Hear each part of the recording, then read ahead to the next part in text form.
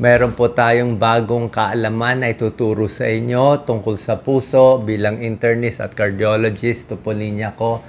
Merong pangyayari, although rare ito, yung napalo sa dibdib, natamaan ng bola, nasuntok, biglang nag-sudden cardiac death.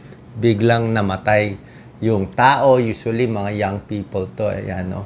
So, minsan tinabaan ng baseball, pa nasakto, tamaan yung sa puso, o nasuntok diretso ng 40 uh, kilometers per hour ang tama, eh delikado.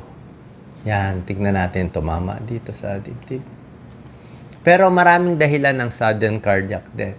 Yan. Unang-una, pwedeng huminto yung puso, tulad na sinabi ko, nasuntok. Pwede rin naman heart attack lang siya. Pwedeng lumalaki yung puso, pwede may sira yung valvula ng puso, Pwede congenital heart disease o baka may electrical problem yung sa puso. So maraming dahilan.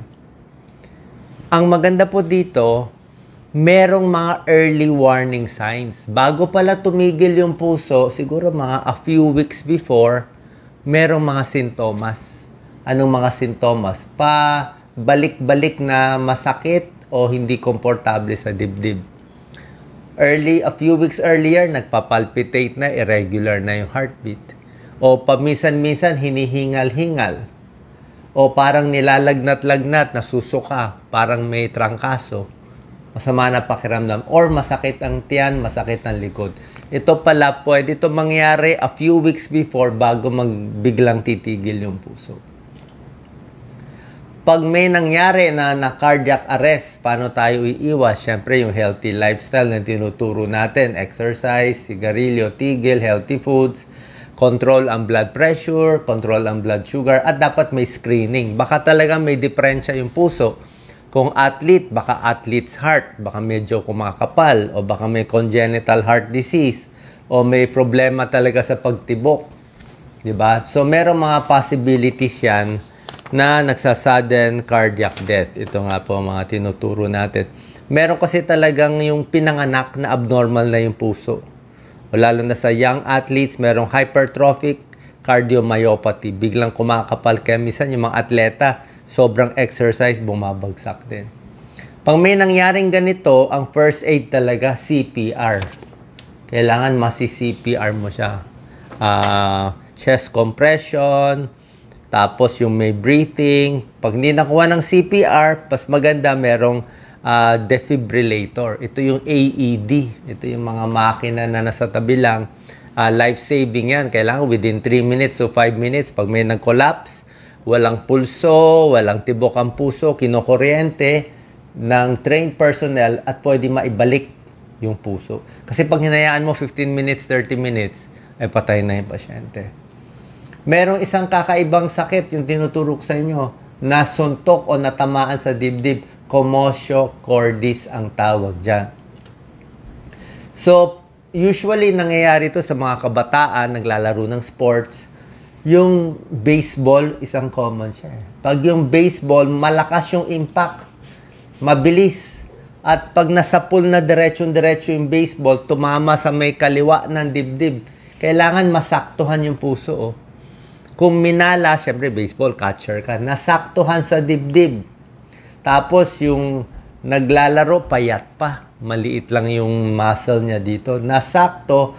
Tapos nasakto sa timing sa puso. Pakita natin, Doc Lisa. Ito, normal tibok ng puso. Pag pa-relax na yung puso, dito tumama yung bola. Pwedeng imbis na normal heartbeat, labdab, labdab, biglang magiging ventricular fibrillation. Ayan. Pag nagganyan na yung kuryente, wala nang tibok ang puso. Hindi na hindi na nag nagpa-pump uh, yan, uh, mamamatay na yung pasyente. So pag ganito na o nag-arrest, kailangan na mag-defibrillator. Ganun gagawin. Pag huminto na yung puso, ayan, o, tinamaan ng bola, uh, football, baseball, o suntok na diretso, delikado dito. Actually, may napapanood ako dati, mga martial arts eh, di ba? Merong sinasabi mga martial arts na pag nasuntok sakto dito sa may dibdib, titigil yung puso. Nangyayari to pero very rare. Pero pag nag-collapse na yung tao, ano makikita? Sudden collapse, siguro gagapang muna bago bumagsak, unresponsive, hindi na humihinga, walang pulso, walang heartbeat, ah, nagiging blue na, kulang na oxygen, may nagko-convulsion, at dahil may injury sa nangingitim ang labi. Yan ang tinuturo ko. Direct impact. Kadalasan tinatamaan mga kabataan, minsan 10 years old to 20 years old, tapos minsan madalas sa baseball. Pero sa suntok, meron din nangyayari.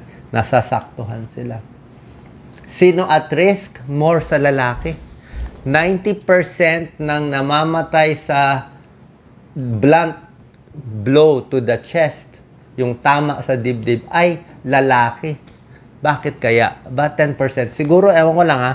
Ah, ito hindi ako sure. Pero tingin ko siguro sa babae, baka less ang lakas ng pagpalo or baka may breast tissue. May breast eh, so hindi masyadong mag impact kung hindi ganun kalakas. Pero kung medyo mas malaki yung dibdib mo, let's say boxer ka, maskulado, kahit siguro matamaan, mas may mas may padding eh, di ba? Mas kaya. Ayaw mo yung diretso yan, napayat na payat yung bata oh. Kaya pag tama, nasaktuhan, pwedeng mamatay. Sa US, parang 30 cases in a year na mamatay sa ganito.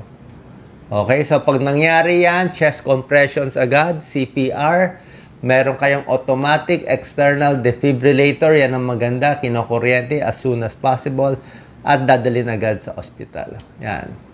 One out of nine, pwede magkaroon ng sudden cardiac death. Yan, at risk po lahat. Kaya maganda po itong topic natin. Kailangan magpa-check tayo sa puso, healthy eating, magpa-check ECG, X-ray, kung kailangan 2D echo with Doppler para makita maayos yung kondisyon ng puso natin. Pa-check po tayo sa inyong internist at cardiologist. Salamat po.